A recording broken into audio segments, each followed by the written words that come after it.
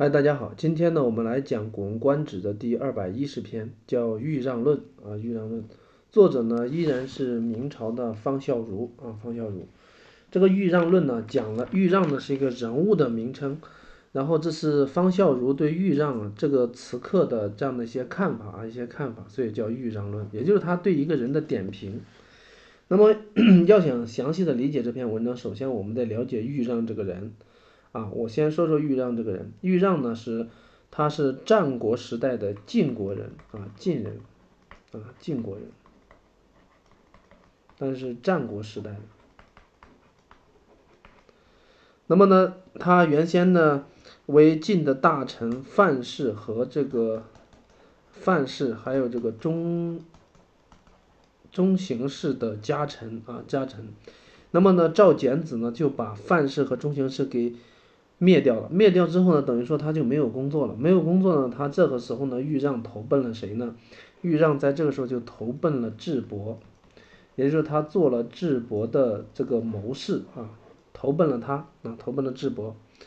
那么呢，后来这个赵襄子，赵襄子呢就把智伯给杀了啊，就是把他的主人给杀了啊。那么豫让这个时候就逃跑啊，就跑到山中，改换性命，然后立誓呢一定要为他的主人报仇。然后就就充当刺客，那么第一次就去行刺这个，呃赵襄子，那么呢就没有成功，没有成功呢，怕别人认出来怎么办呢？就用那个漆啊，那个当然不是油漆啊，是古代的那个漆啊，做漆器的漆啊，把身上全部涂涂，然后把皮肤呢全部弄烂掉，然后呢让让身上生了很多的赖疮啊，然后还把那个火热的那个炭呢把它吞下去。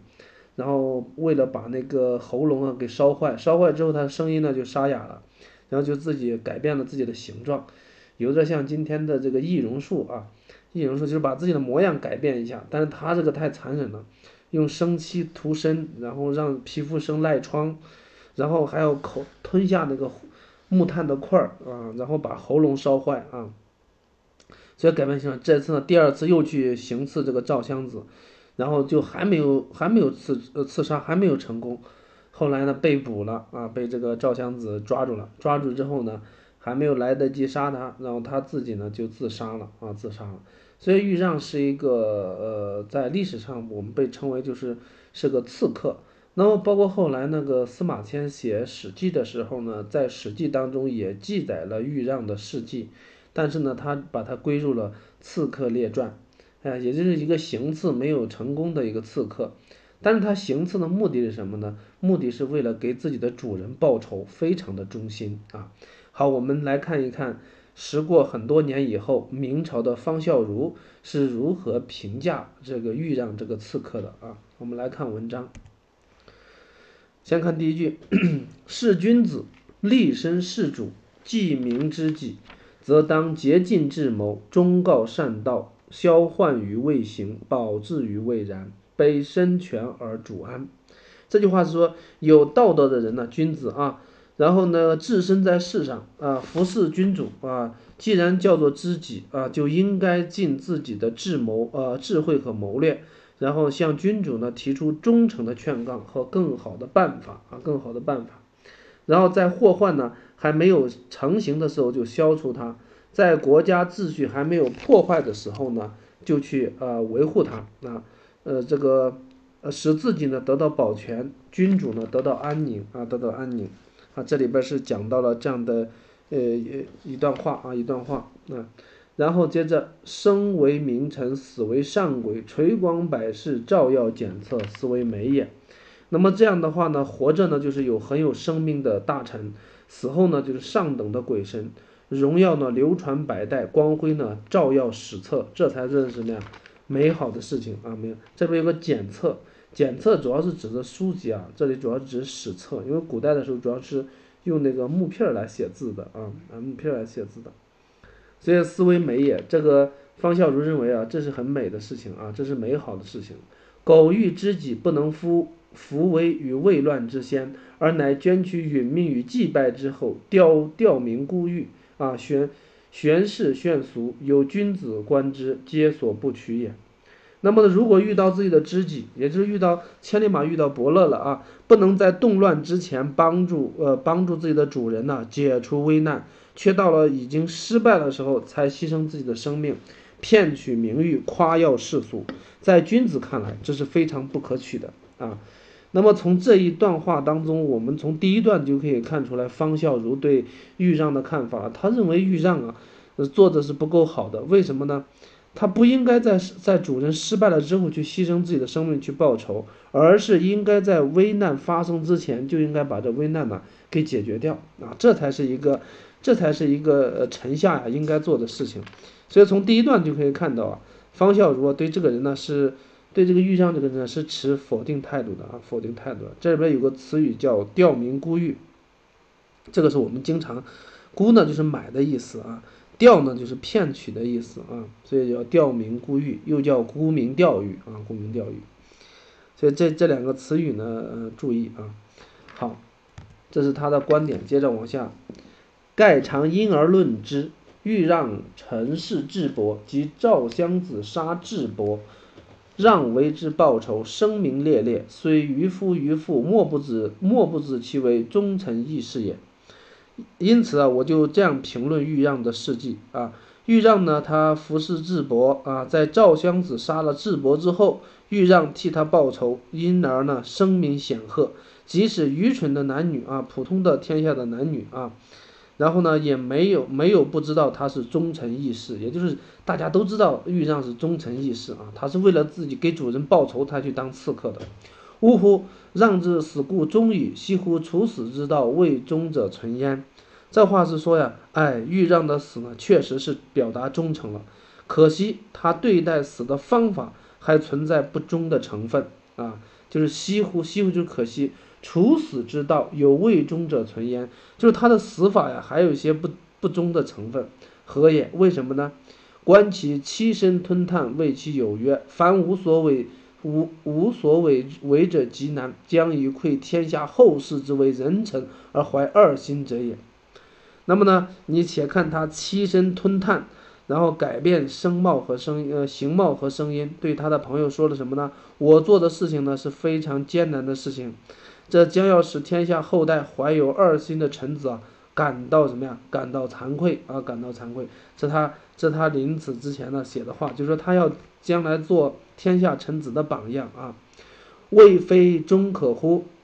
呃，说他不忠可以吗？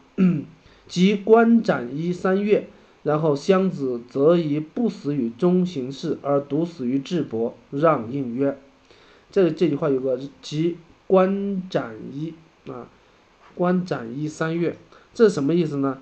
待看他呢三次跳起来，用剑呢斩断了这个。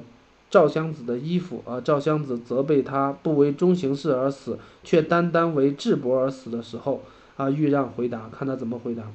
这句话的背景有点多啊，我们简单说一下。首先说的第一个，这个什么叫做斩衣三月啊？斩衣三月，就是赵襄子出外的时候呢，呃，豫让呢就是在桥下埋伏啊，在一个大桥下埋伏，然后谋刺赵襄子，但是没有成功，后来被捕了。被捕之后呢，他见不到赵襄子了，但是他捡到呢赵襄子的衣服了，然后他就拔起剑来，然后呢，呃，然后拔剑三月，呼天击之，然后呢才自杀了啊，然后才自杀了，也就是没有杀到真人嘛，只是，呃，只是砍了砍呃赵襄子的衣服啊，那么赵襄子就责备他说，你怎么不为你的第一个第一个主人中行氏去死呢？而为什么非要呃为智伯而去死呢？让应曰。那么豫让就说了一段话啊，中行氏以众人待我，我故以众人报之；智伯以国事待我，我故以国事报之。他回答的很清楚，他他说呀，中行氏这个人呢，把我当做什么呢？普通人来，众人就是普通人来看待，所以我用普通人的行为来报答他。但是智伯这个人把我当做国士来看待，就是地位很高的人来看，所以我就用国士的行为来报答他啊。那么这是豫让的想法啊。接着，因此而论，让有余憾矣。那么就这方面来评论呢，豫让呢就有不够之处了啊，不够之处了。好，接着往下看，段珪之事，韩康；任章之事，魏献。魏文以国事待之也，而归也张也。力劝其主从智伯之请，与之与之地以交其志而诉其亡也。这里边又举到了两个人物啊，这我人物举的有点多啊，人物关系得理清楚。段圭是一个大臣，他侍奉谁呢？侍奉韩康子啊，韩国的啊。任章呢，也是一个大臣，他是什么？魏献子啊，这两个人啊，这两个人。那么第一句话，段圭之事韩康呢？因为智伯这个人呢，曾经向韩韩康子要地啊，就是智伯，就是平白无故的就问韩国那个韩国要地。那么韩康子呢就不想给他，但是他的谋士段圭就说了给他，因为给他之后呢，他会变得更加贪得无厌，而且会向别人要，别人不肯呢就一定会打仗会动武。这样的话，我们韩氏呢就可以免免除灾祸，然后在一旁等着局势的变化啊。你像这件事情呢，都记记录在《战国策》这本书当中，《战国策·赵策》啊，讲赵国的事情。任章之之事韩魏，这个这个人讲到了任章。那么智伯呢，接着又向魏呃向这个魏献子要地，魏献子也不想给，但是他的谋士叫任章说，他无缘无故的向别人要地啊，邻近的国家一定会害怕，然后你就给他地，他会会很骄傲的啊，骄傲的就会轻敌。而邻近的国家呢，由于害怕他，就会联合起来。那么用联合的兵力呢，来来对付一个轻敌的军队呢，智伯的命啊就不长了。于是呢，魏献子呢也给他了啊，也给他了。这两件事啊，分别都是在《战国策》当中。第二个呢，呃，出现在《魏策》当中。好，知道这两件事之后呢，你就知就知道了啊。那么呢，你看段圭呢，他服侍韩康子；任章呢，服侍魏献子。没有听说韩康子、魏献子把他们当做国士看待，可是段圭和任章的却竭竭力的帮助他们的主子来答应智伯的要求，给智伯土地，来使智伯的意志骄傲，从而加速智伯的灭亡。啊，人家人家这也是一种报答报答主人呢，是吧？还有这个，西资之事智伯，以未尝以国士待也。而兹能察韩魏之情以见智伯，虽不用其言以致灭亡，而资质智谋忠告，以无愧于心也。这里边又讲到第三个人啊，这第三个人叫习之啊，习之这个人，习之呢是人名啊，因为当时的智伯呢率领韩魏的军队啊来围困呃赵晋阳时呢啊赵国的晋阳的时候呢，谋士啊这个这个谋士啊。这个细资呢，就从韩魏的这个利害关系断言说韩魏必定会造反的，然后劝这个智伯防备，但是呢，智伯不听，结果呢，被赵韩魏三家联合灭亡，然后脑掉了脑袋啊，掉了脑袋。那么方孝孺写这个例子，就是说，你看，人家西西这个细资这个人呢，他也是这个智伯的手下，但是。呃，虽然智伯不肯采纳他的意见，因而招致灭亡，可是他已经献出了自己的智谋，对智对智伯对自己的主人已经进行忠告了，所以他在心里边是没有惭愧的啊，是没有惭愧。这里边其实举了三个人和这个豫让进行对比啊，进行对比。让既自谓智伯待于国事矣，国事继国之事也。那么呢，豫让呢，既然自认为智伯呢，把他当做国事看待了，国事是什么人呢？是拯救国家的人呢，济国之事。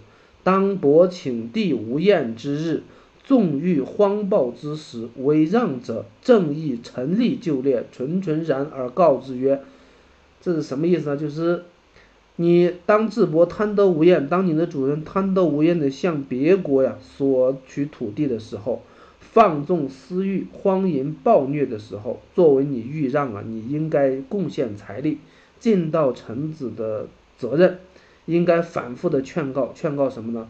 诸侯大夫民安分地，无相侵夺古之治也。今无故而取缔于人，人不与，而吾之愤心必生；与之，则吾之骄心已起，愤必争，争必败，骄必傲，傲必亡。啊，那么应该怎么劝他呢？应该劝他说：诸侯大夫啊，然后要各安于自己的封地，不要相互的争夺，这是古代流传下来的制度。现在呢，我们无缘无故的向人家要求土地，人家不给我，我必定会产生愤恨心；如果给了我，必然会引起骄傲心，愤恨了一定会斗争，斗争呢便会失败，骄骄了以后呢会傲，傲了一定会亡国啊，一定会亡国。就是说，豫让应该向自己的主人呢讲这一番道理。臣妾恳告：谏不从，再谏之；再谏不从，三谏之；三谏不从，夷其复谏之死，死于是日。那么应该这种建议呢，肯呃诚恳真挚，劝谏一次不听呢，就再劝他；再劝谏不听呢，就第三次劝谏他；三次不听呢，就把自己的自杀的时间移动下，提前就死在这一天啊，就是死在这个呃这个对他这个谏。嗯，就是进谏的路上，所以他这里边就是还是希望什么？要一定要谏啊，一定要谏。好，接着我们来看啊，伯虽顽名不灵，感其至诚，熟积富务，和韩魏是赵伟保全至宗，守其祭祀啊，守其祭祀。那么呢，智伯呢虽然愚昧无知啊，也会被欲望呃，也会被欲让的这种诚意所感动，或许可以觉悟，然后跟。跟韩魏和好，解除对赵氏的围困，保全治世的宗庙，守住他的祭祀，啊，若然则让虽死犹生也，岂不胜于斩夷而死乎？如果这样的话呢？那么豫让虽然死了，但是他还像活着一样，难道不比斩夷而死更好吗？这样的结果，让于此时曾无一语开悟主心，使波之威王有越人失寝人之肥己也。那么豫让在这个时候呢，却不曾说一句话去开导自己的主人，看着智伯的灭亡啊，就像越国人看着秦国人的胖瘦一样，毫无关系啊，叫做袖手旁观，坐待成败，国事之报，诚若是乎？也就是袖着双手啊，站在一旁观看，等坐等着他的失败，国事的报答何曾是这样啊？所以这一段这句话其实就是对豫让最核心的批评啊。就是说你，你做事情应该坐在前边，叫不要，你这叫袖手旁观，国事之报，诚若是乎？智伯既死，而乃不胜血气之性性，甘自负于刺客之流，何足道哉？嗯，然后那个智伯已经死了，他的主人已经死了，却禁不住一时的血气冲动，情愿把自己归到刺客一类，这有什么值得称道的呢？何足道哉？虽然以国事而论。欲让故不足以当矣啊，那么，呃，这个，有时呃，虽然这样拿国事来说呢，欲让固然不够资格了，也就是他不够资格当当这个当这个国事的啊，比朝为仇敌，暮为君臣，啊，这个这句话的意思是讲，那么那些但是那些早晨还是敌人，晚上就成了君臣的人啊。这个恬然而自得者，又让又让之罪人也亦。那么舔呢？舔是指的是厚着脸皮子的样子啊，就是那些早晨是仇敌，晚上就成了君臣，厚着脸皮子自以为得意的人，又是欲让的什么呀？罪人了亦啊亦，就是感叹一下哀的意思啊。所以从整个这一篇来讲，写的稍微有点长啊。文章呢，通过对豫让这个人的评论。说明了呢，真正的这样的忠臣烈士应该是具有政治的远见性的，要敢于犯言直谏，防患于未然，而不能在祸患发生之后呢，凭自己的血气之勇沽名钓誉。所以整篇文章呢说理非常的透彻，评论呢也非常有分寸啊，而且呢自己的见解特别的到位啊，特别的到位，表达的很到位。这是整个这一篇文章啊，希望大家下去以后。能够多看几遍啊！好，谢谢大家。